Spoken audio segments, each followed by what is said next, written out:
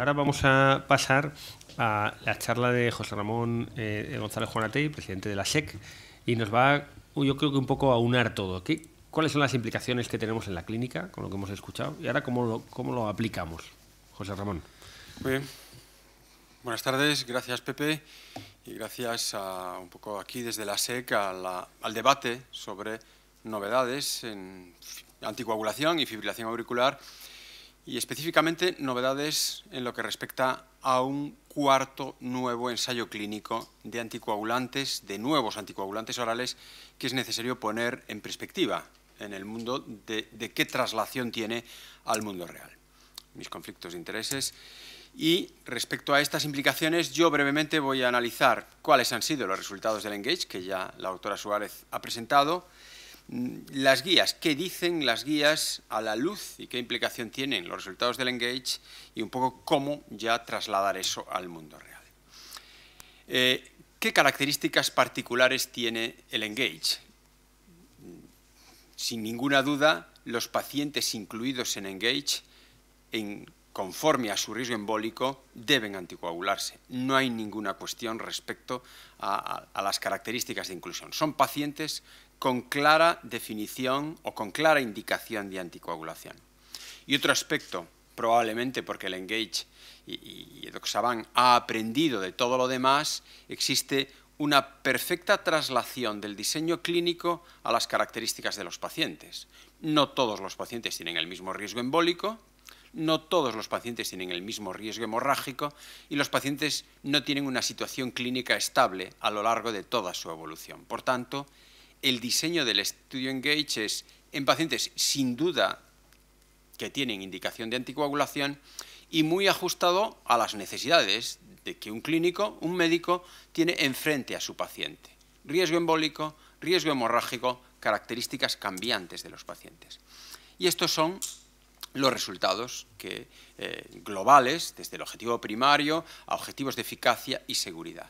Sin duda, destacar es el ensayo clínico comparado con varfarina, un nuevo anticoagulante, en donde el competidor del nuevo, en este caso varfarina, estaba jugando un papel relevante, ya que el tiempo en rango terapéutico era muy significativo y mayor del que habitualmente vemos en práctica clínica y mayor que el que de ninguno de los estudios previos, especialmente en un grupo de pacientes donde es difícil lograr una buena anticoagulación con varfarina, ya que eran pacientes con mucho riesgo, fundamentalmente embólico, y en donde sabemos que la calidad de la anticoagulación con antivitamina K depende de las características basales de los pacientes. Por tanto, estos objetivos son con un excelente control de anticoagulación. Uno podría especular que si el control del comparador o la calidad del comparador fuera menor,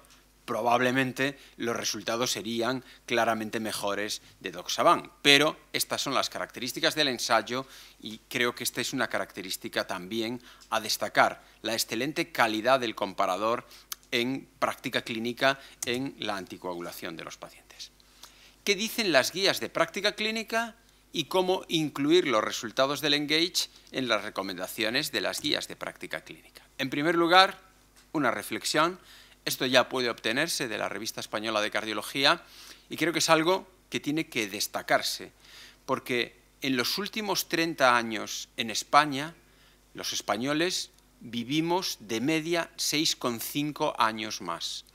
De esos 6,5 años más que vivimos, más de cuatro, casi cuatro y medio, se deben a avances en la prevención y el tratamiento de las enfermedades cardiovasculares.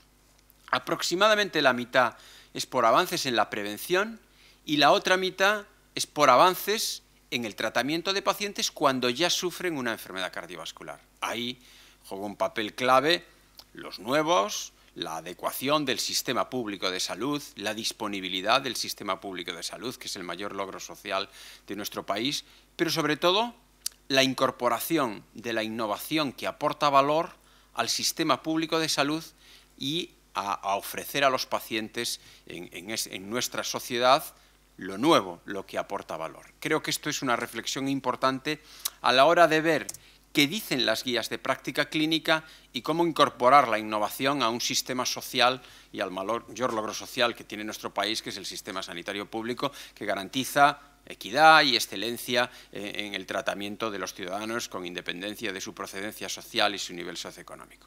Pues las guías que soporta la Sociedad Española de Cardiología y que son las guías de la Sociedad Europea de Cardiología dicen que los pacientes con fibrilación auricular deben evaluarse y la primera prioridad o la prioridad absoluta es evaluar su riesgo embólico. ¿Necesitan anticoagularse sí o no?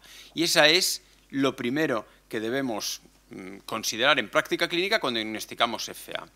Y estas guías dicen que por encima de uno, ya claramente por encima de dos, eh, se prefieren anticoagulantes orales. Pero además, las guías del 2012 priorizan el uso de nuevos anticoagulantes frente a antivitamina K. Pero esta es la posición de unas guías de una sociedad científica y de nuestra sociedad científica que tiene que tener ahora un traslado este, en, nuestro caso, al mundo de la sanidad, de la sanidad, del sistema de salud en general, pero especialmente del sistema público de salud.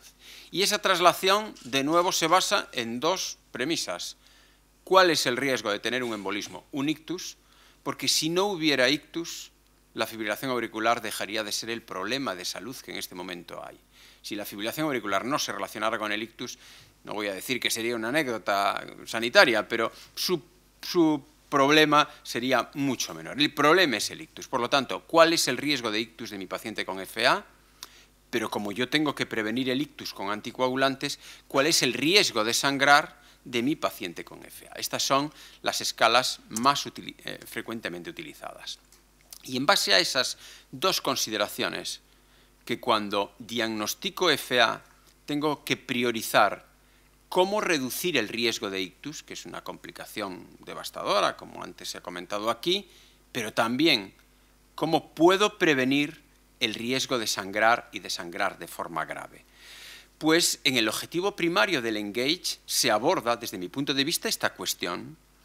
La dosis ideal para prevenir el riesgo de ictus es la dosis de 60, ajustada posteriormente en función de la evolución clínica. Es la dosis ideal de indicación de anticoagulación. Pero hay una información complementaria.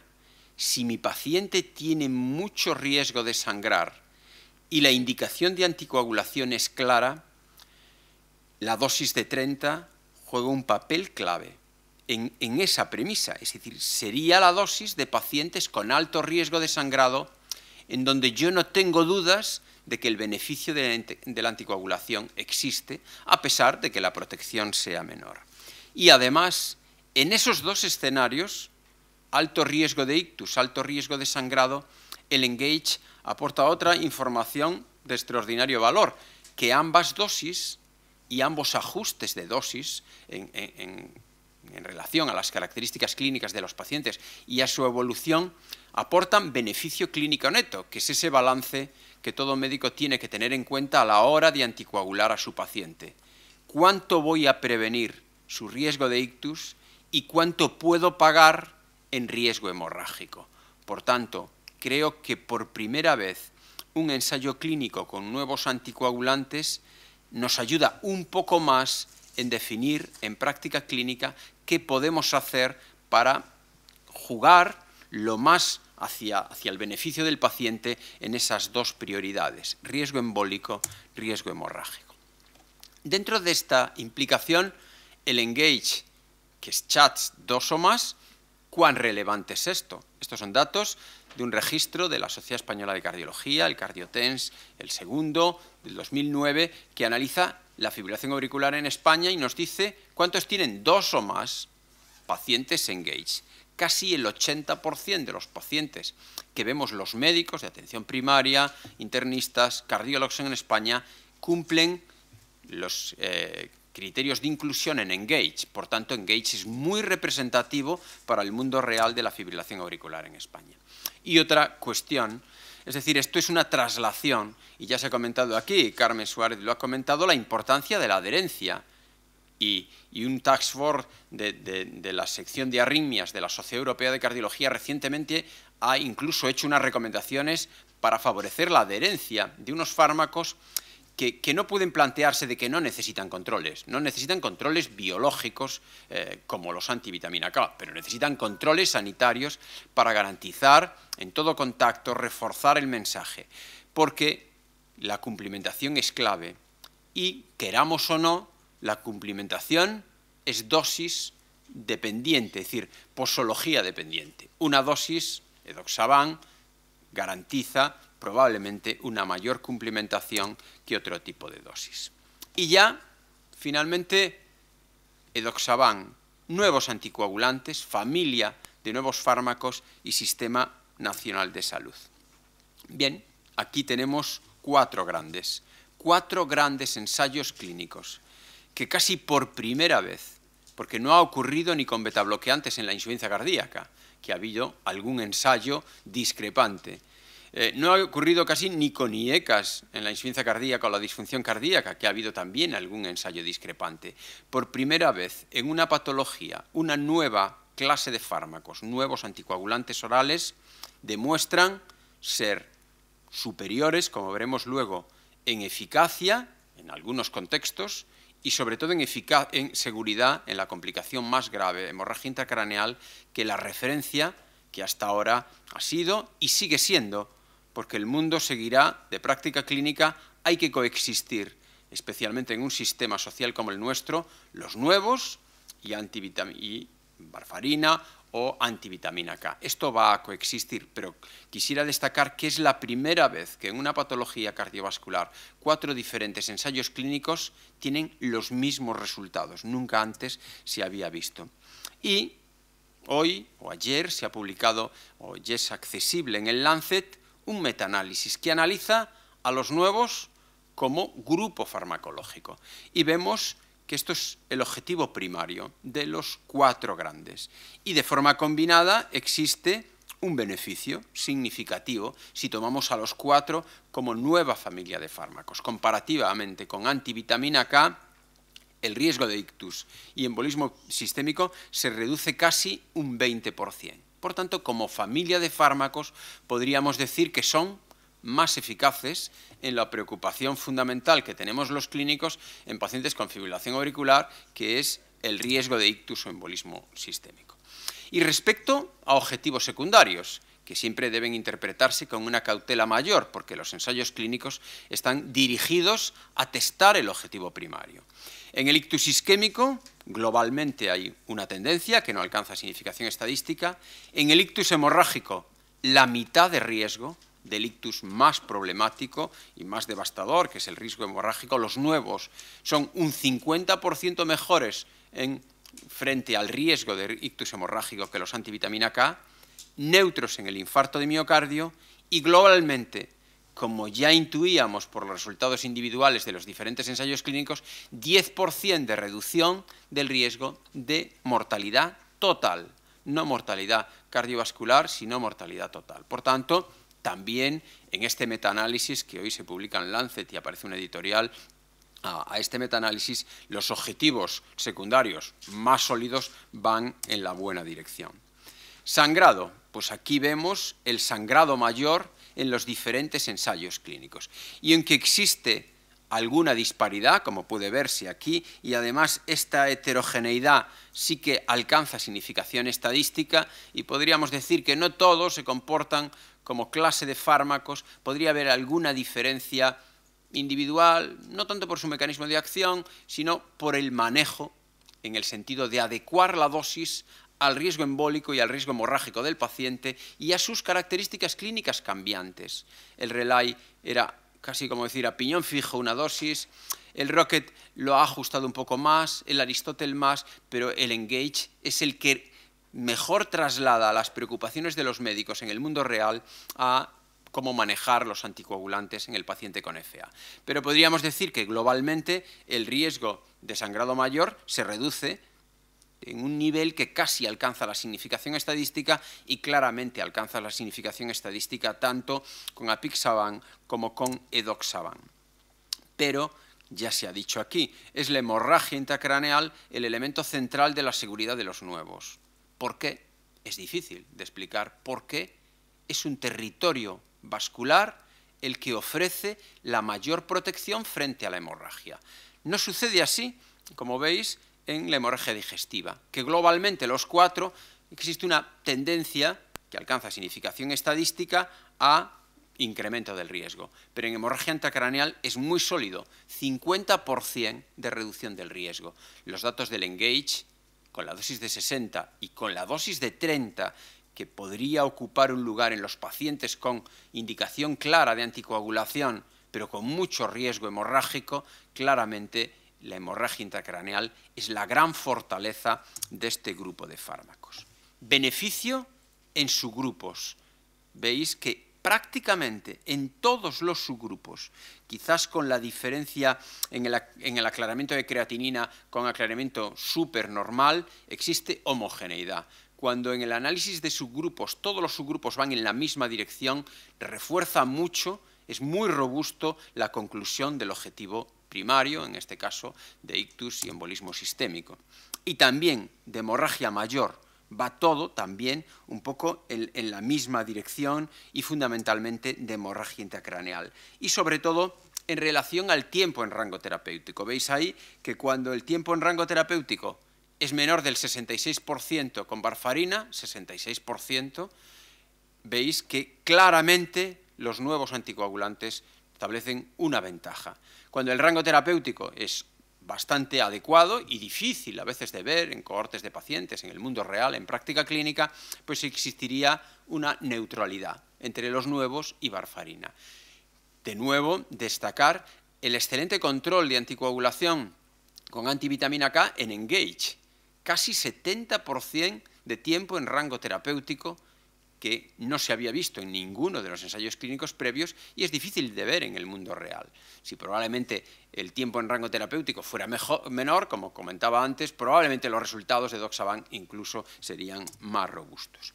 Eh, además, y de nuevo, ver que aquí tanto Davigatran, que testó 110 casi podríamos decir a piñón fijo en los pacientes, como aquí Edoxaban 30 pero con un adecuado ajuste en función de las características cambiantes de los pacientes, vemos como eficacia es no inferior de forma global, pero la seguridad es claramente mejor. De ahí la conclusión que yo extraigo para el, mm, para el mundo real y para el día a día en FA, que si yo tengo claro que mi paciente se beneficie de la anticoagulación, pero también tengo claro que tiene un Hasbled, un riesgo de hemorragia muy elevado, la dosis de 30 de Doxaban pudiendo incluso ajustarla en función de las características cambiantes de los pacientes, es una excelente opción. No voy a volver a repetir lo que ya José María nos ha dicho aquí, esto es la regulación del financiador, un poco, mm, bueno, del que agrupa a todos los financiadores, pues los financiadores son las comunidades autónomas y del Ministerio. En este momento fundamentalmente mal control de anticoagulación, en situaciones que es difícil, y yo creo que quizás esto debería expandirse a sobre todo a los pacientes que tienen mucho riesgo embólico, en donde quizás, y mucho riesgo hemorrágico, los nuevos deberían ocupar un lugar más preferente. ¿Son farmacoeconómicos? Sí.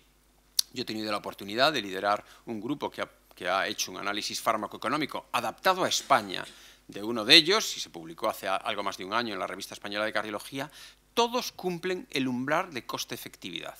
No está hecho en edoxaban, pero seguro que cumple el umbral de coste-efectividad que en España se recomienda que cualquier intervención que sea financiada por el sistema público de salud debe representar menos o alrededor de 30, 40, 30 mil euros por año de vida ganada sin discapacidad. En el año 2015 la Unión Europea va a dar una normativa teóricamente debe ser de obligado cumplimiento en todos los países miembros sobre este análisis coste-eficaz a la hora de trasladar a los sistemas de salud las innovaciones. Y esta es mi última diapositiva.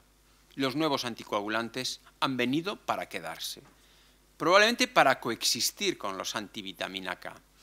Pero esto es lo que ha pasado en España con la innovación. Antes comentaba que la innovación que aporta valor ha sido uno de los motores de la cantidad y calidad de vida de la gente en España, de los ciudadanos, de todos nosotros. Pues bien, esto es lo que pasa en este momento, a 2013, en cuota de mercado de diferentes grupos. Podríamos incluir aquí inhaladores para el EPOC o cualquier otra, otra innovación.